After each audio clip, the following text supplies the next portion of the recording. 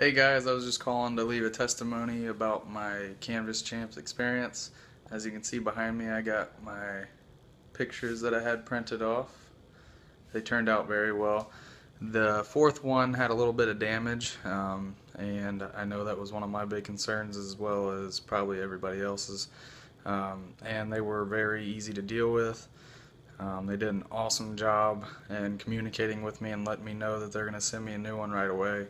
Um, I just let them know a couple days ago, and the new one's going to be here tomorrow. So no problems there. So I give them a great, great big thumbs up.